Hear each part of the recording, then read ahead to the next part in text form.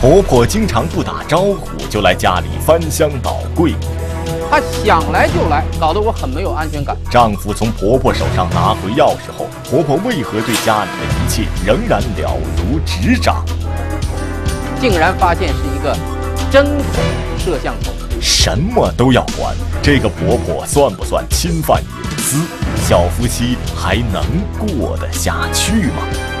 盯梢儿媳，盯出事。即将播出。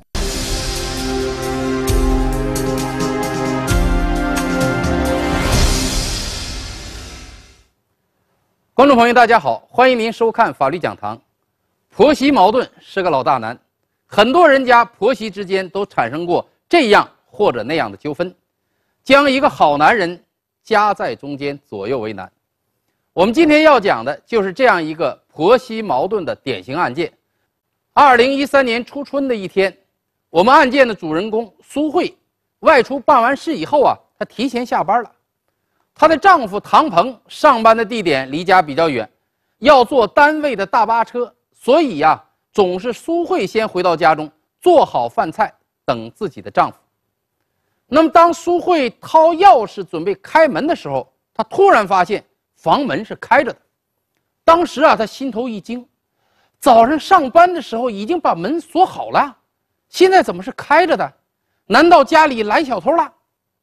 苏慧啊，悄悄地推开门，映入眼帘的是鞋柜旁的一双女鞋。苏慧的心里啊，又猛然一颤，难道老公唐鹏有外遇了？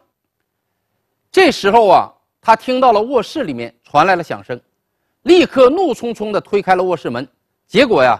发现了一个熟悉的身影，只见婆婆正鬼鬼祟祟地打开她卧室里的柜子在查看。老太太耳朵不好使啊，她没有听见儿媳妇的开门声，正在专心致志地翻看。这时候啊，苏慧上前大声叫道：“妈，您找什么呢？”婆婆抬头一看，儿媳妇回来了，有些尴尬地起身说道：“啊，我不找什么，来看看。”你做饭吧，我先走了。还没有等儿媳妇苏慧开口让她留下来吃饭，老太太呀就径直开门而去。晚上，唐鹏一进家就觉得气氛不对了，他看见自己的妻子苏慧板着脸坐在沙发上，灯也没有开。唐鹏啊，马上陪着笑脸问道：“怎么了，老婆？工作不顺心？谁惹你了？告诉我，我替你出头去。”苏慧啊，没好脸色的回答道：“还能有谁惹我？是我惹不起的主啊！我回家时，你妈正像侦探一样在咱们家翻箱倒柜呢，我还以为家里招小偷了，幸亏没有报警。”唐鹏一听啊，知道是老妈又来过了，惹得老婆不高兴，就笑着圆场道：“哎，我妈呀是关心咱们，你不要介意啊。”苏慧啊，依旧不高兴地说。有这么关心的吗？唐鹏知道啊，这婆媳关系不大好相处，他就安慰自己的妻子说道：“啊，他哪一天回家以后要和妈妈讲一讲，让他老人家呀没事不要老来自己的家。”苏慧知道丈夫是在敷衍她，就看着他认真的说道：“你妈手中有咱们家钥匙，她想来就来，事先也不打招呼，这样啊搞得我很没有安全感。时间长了，我肯定会得心脏病。你回家的时候啊。”把钥匙拿回来，省得我天天回家提心吊胆。几天过去了，唐鹏依旧不敢向母亲要回自己家的钥匙。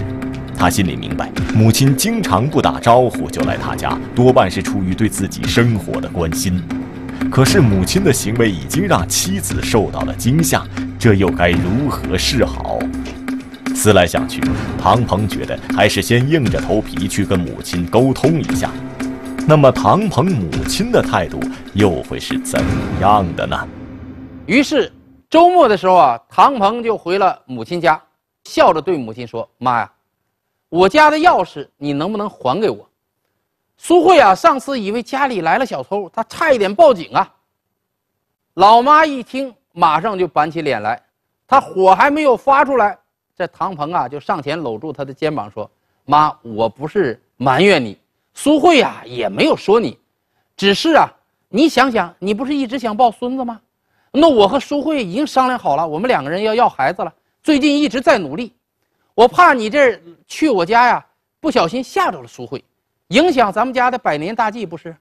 为了您未来的孙子，这段时间呢，您还是先委屈一下吧。”老妈看看表情诚恳的儿子，知道啊，这是儿媳妇出的难题，但是她为了不让自己的儿子太为难，就把气话呀咽了下去，起身回到房间里，把儿子家的钥匙拿了出来，交给了唐鹏。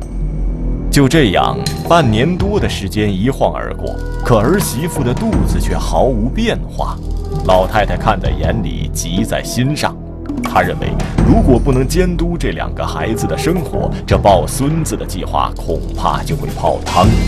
可是这钥匙已经交还给了儿子，自己又该怎么办呢？老太太急中生智，一条妙计浮上心头。于是老太太呀，就给儿子打电话，告诉他：“我托人买了点生态大米，让他把钥匙送回家。大米来了以后，好把大米送到他家里去。”唐鹏啊，就马上把母亲的要求给苏慧说了。苏慧一听啊，害怕婆婆拿着钥匙不还，自己的家庭又回到以前那个不断被婆婆挑剔的状态，所以她就对唐鹏说：“你跟妈说不要送了，咱们双休日回去拿嘛，咱们年轻有力气。”唐鹏啊，不敢忤逆自己的老婆，就和母亲说：“星期天我们回家去拿。”这儿媳妇苏慧为什么不愿意给他家里的钥匙？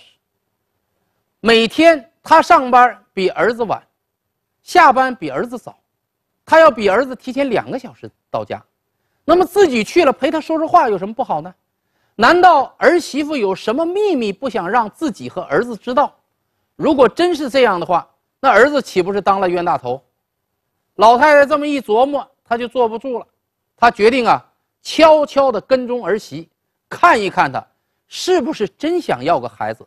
是不是真心和儿子过日子？苏慧的工作单位离唐鹏母亲家不远，所以呀，老太太总是以锻炼为由，走到儿媳妇工作的写字楼附近，观察自己的儿媳妇有没有异于常人的地方。一天中午，老太太来到了写字楼前，恰巧看见儿媳苏慧穿着职业套装，蹬着高跟鞋，从写字楼里快步走了出来。只见一个中年男人站在楼前，微笑着在等着他。儿媳苏慧上前挽住了那个男人的胳膊，两个人呢有说有笑的向美食城的方向走去。老太太小心翼翼地跟在后面，发现儿媳和那个男人十分亲近。那个男人一边说着话，还一边手啊拍拍苏慧的脑袋。这老太太这一场景实在看不下去了，她气呼呼地回到了家中。她终于明白。为什么儿媳妇没时间做家务？为什么她不想生孩子？原来是在外边有了情人。这件事情啊，一定要搞清楚，要不然自己的儿子就戴了绿帽子，而全家人呢还傻乎乎的在讨好这个出轨的儿媳妇。婆婆怀疑儿媳出轨，想尽办法查个水落石出。从这一天起，老太太盯梢儿媳就更起劲了，看一看她。是不是真想要个孩子？是不是真心和儿子过日子？婆婆无功而返，她又会想出什么花招调查儿媳？你家里有电脑的话，装一个摄像头就行了。钥匙已经被儿子要回，她怎么才能在儿子家安装摄像头？盯梢儿媳，盯出事正在播出。从这一天起，老太太盯梢儿媳就更起劲了，但是。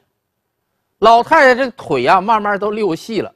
她再也没有发现儿媳妇苏慧有什么不轨的地方。但是，老太太不甘心。有一次，和小区里的老太太们在闲聊的时候，她听一个老太太说道：“说她每天呢都和远在国外的孙子视频聊天，孙子玩什么吃什么，哎，这老太太都知道。”唐鹏的母亲一听，马上精神抖擞，问：“哎，这什么好东西啊？”怎么不用到现场就能看得一清二楚啊？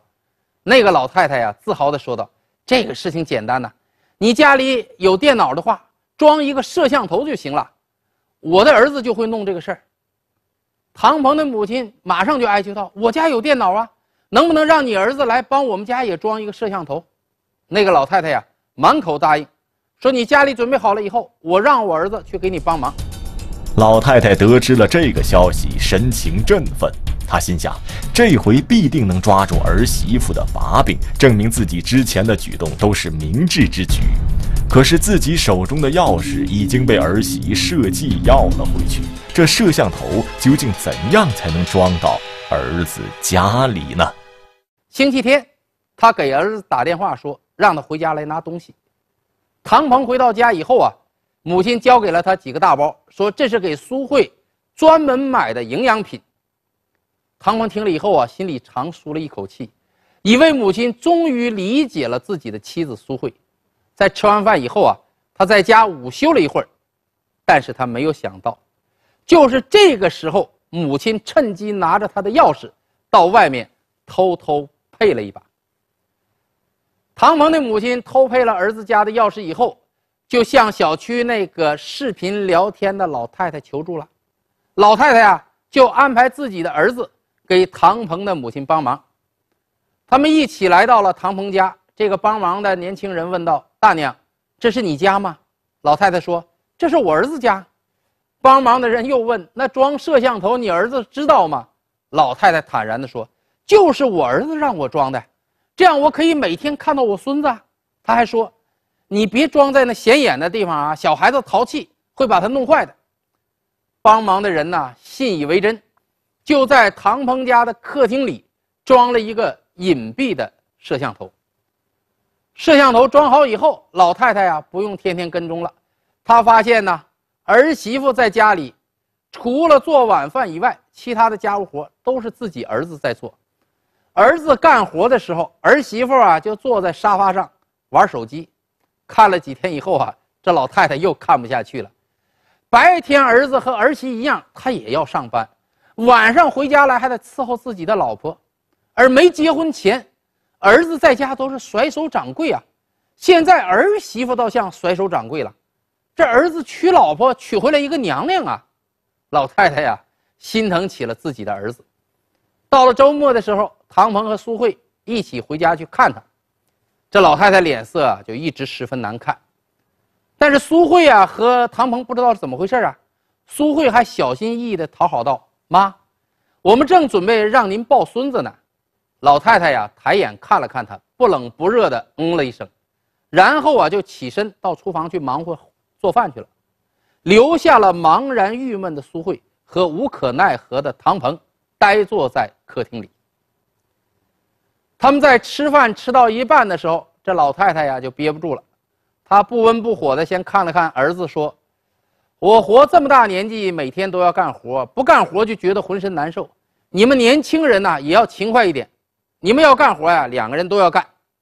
看到儿子点了点头，他又自然的转向儿媳苏慧说道：“你们不能一个人干活，另一个人当甩手掌柜，一个人忙得屁股尿流，另一个人呢看手机玩微信。你们是夫妻啊，可不是什么个体户。”听了婆婆的话，苏慧心头一惊。婆婆手中明明已经没了自家的钥匙，却对家中大小事务了如指掌，从而对她冷嘲热讽。婆婆究竟是怎么知道自己家里的事情的？难不成是丈夫唐鹏在婆婆面前告了状？离开了婆婆家以后，苏慧啊有些气急败坏，她冲着唐鹏吼道：“唐鹏，你都这么大了，你妈还是你的保姆啊？咱们家什么事儿你都跟你妈说说。”唐鹏双手一摊，我也不知道啊，那他肯定是瞎猜的呗。苏慧啊，瞄了唐鹏一眼，不高兴的说道：“你妈是神仙呐，猜的那么准，肯定是你回家说的，你嘴太快。”唐鹏呢，不想和自己的妻子啊无谓的争论了，他只好陪着笑脸，搂着苏慧的肩膀说：“老婆呀，树大根多，人老话多，哎，你就当是为了我，为了咱们家。”让我妈说几句就说几句吧。没有想到啊，苏慧用力甩开了唐鹏，低着头自己快步走去。从这以后，这个苏慧的疑心病又犯了。她总是觉得有人在监视自己，上班途中也觉得有人在后面跟着，可是回头一看又找不到人。唐鹏就说他呀：“你精神太紧张了，还是放松放松就好了。”一天晚上，苏慧正坐在沙发上看电视。唐鹏啊，在家里拖地，一不小心就把花瓶给碰倒了。苏慧听到响声，抬眼看了看，突然发现花瓶背后那个墙壁处有一个亮点，哎，他觉得很奇怪，急忙起身上前查看，竟然发现是一个针孔摄像头。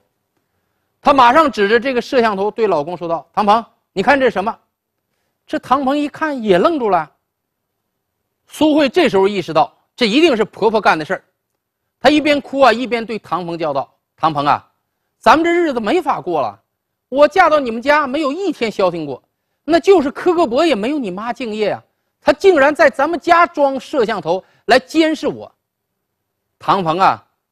本能是不相信自己的母亲会跑到自己的家中来装摄像头，但是联想到母亲对自己家的情况是如此的熟悉，那简单推理也应该知道这事儿啊就是老太太干的。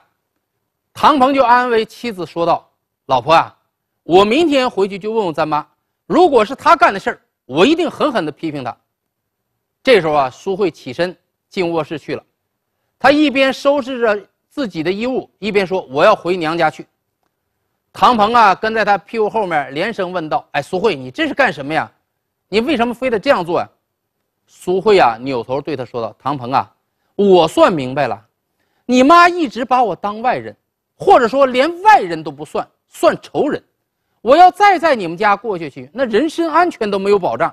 我必须回娘家去。你去和你妈谈吧，她不满意我，咱们俩可以离婚。”婆婆安装摄像头监控儿媳，不料却惹出大麻烦。咱们这日子没法过了，那就是磕个膊也没有你妈敬业啊！儿媳以离婚相威胁，要求婆婆不干预他们的私生活。婆婆能做到吗？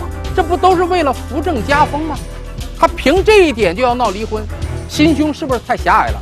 母亲坚称自己行为没错，儿媳却认为她侵犯自己的隐私。夹在婆媳矛盾间的儿子该如何是好？盯梢儿媳，盯出事正在播出。这唐鹏一个人在家也待不住了，他就决定回家向母亲问清楚。唐鹏一进家门，就对母亲啊严肃地问道：“妈，我家的针孔摄像头是不是你装的？你为什么要这样做？”这老太太看看自己儿子，没有什么话好说呀。他的脸上表情实际上告诉唐鹏，这事儿就是他干的。唐鹏气急败坏地说：“您这是侵犯了我们的隐私啊！你把苏慧都气跑了。”老太太呢，嘴还很硬，她不承认自己有责任。哎，你老婆是不是我气跑的？很难说，说不定啊，她早就想和别人跑了。妈，您这话是什么意思啊？这时候，老太太呀就开始把自己侦查到的儿媳妇的不妥行为。